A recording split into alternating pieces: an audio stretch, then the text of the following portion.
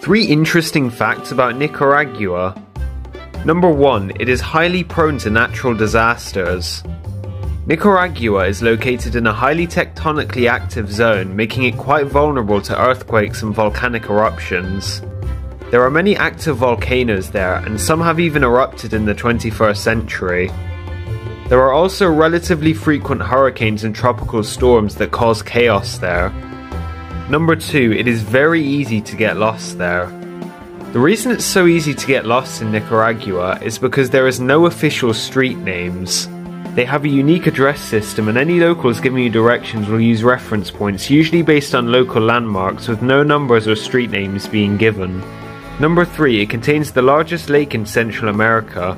It's called Lake Nicaragua and is 8,264 square kilometers and is a major source of drinking water for the country. It is also the only lake to have freshwater sharks.